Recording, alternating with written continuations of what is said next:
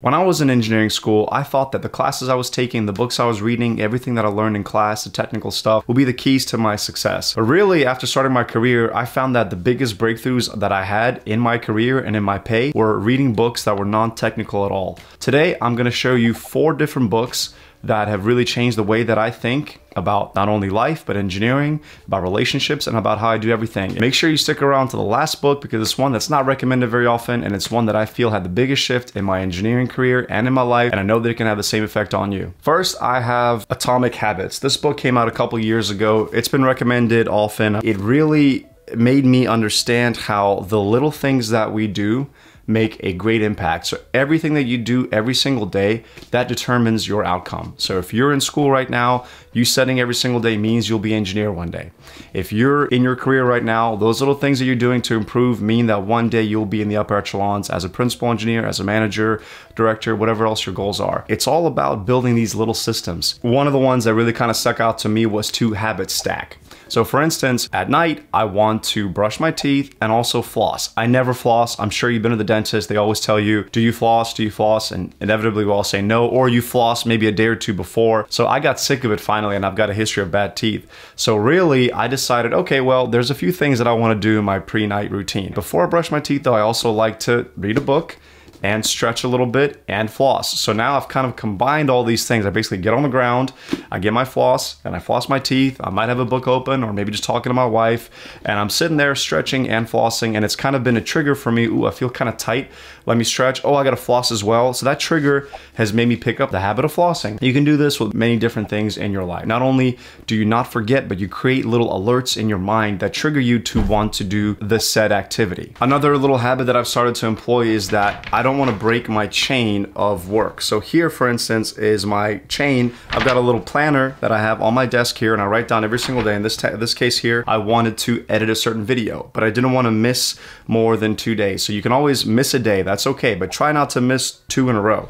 So I try to track that with this calendar, even though I did miss a few on there but it's a visual reminder to get me back in the groove. You thinking doing something small, whether that is even reading for 10 minutes a day, makes no difference, you're wrong. Because if you read for even 10 minutes a day, after a year, you've read for 3,650 hours, which is what, 60 hours?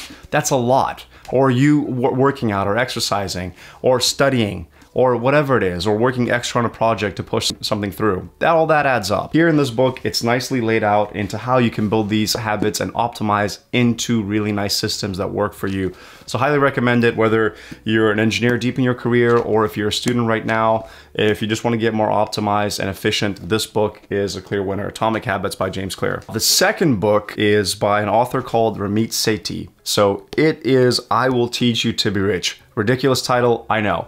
But this guy is a finance guy I've been following for about, I don't know, 10 to 12 years. And he came up in the personal development circles. And when I was a young engineer, you know, I wanted to know more about money. And it's something that is never really taught to us in school. You don't learn about money. You might learn about project management and money, but not what you should do. So he's got tons of really good chapters, such as getting out of debt. There are ones in building systems and optimization. You can kind of see where my head's at. I like to optimize and systemize everything I do. Probably if you're watching this video, you have that engineering mind also, and you probably want to do the same thing. So it's got one chapter here, for instance, it's about creating a money flow and automating that. And that has been a godsend because I've realized that by putting these things on autopilot, you can start having your money not only work for you, but you also can start to remove the stress that you have in your life about it all. And so he's got goals here about not only financing, retirement, buying a house, buying a car, all these different things, but really creating a system around all that. I reread this often just to kind of make sure that I'm doing well or I try to track myself and goals. So this one here is a really good money book. So I encourage you to take a look see what you think. Third book is How to Win Friends and Influence People by Dale Carnegie. This one here makes all the rounds on all of the investment channels or self-help books, anybody who's looking into entrepreneurship or anything of that sort. But really, I give this to all of my entry-level engineers, literally every single one. I've probably gifted this to 20 to 30 people now the past couple years because it holds the key to everything that we do. You'll realize that when you get into your career, it's not about really how much knowledge you know or how technically sound you are, but how do you communicate this to other people?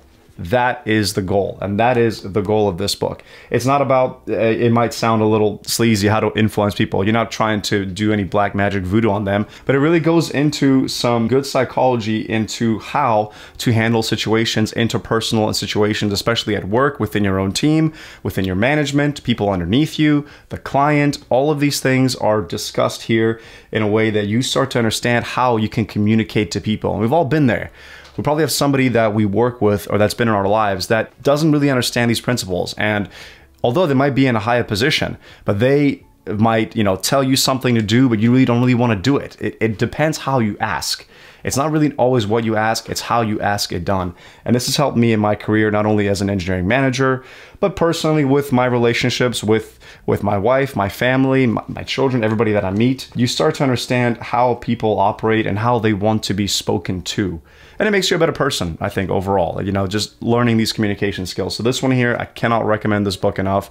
As mentioned, I've gifted this more than any other book. It is not overrated. This one makes the rounds, and mine is heavily highlighted and written in on and and dog-eared and all this good stuff too. So this one here will help you out in your career. As you progress, also, you will most likely enter roles of becoming a technical subject matter expert or even a project lead, project manager, I don't know, director. They require you to have really strong interpersonal skills. And it's something that I cannot preach enough to my junior folks on my team and hopefully uh, to you listening as well. The communication skills that you build as an engineer are priceless. And that's what really separates the people that do well in their career and not. For instance, I would rather hire somebody who's technically sound, maybe not the best ever, but that could communicate properly to me, to the team, and in one that I'd actually want to work with rather than somebody who is the most brilliant engineer or scientist ever who you don't want to be around. There is a difference. You will tolerate that brilliant person, but gosh, you just wish that they would make it a little bit easier for you in your life because really your happiness on the job at the end of the day comes down to who you're working with and how you communicate with them.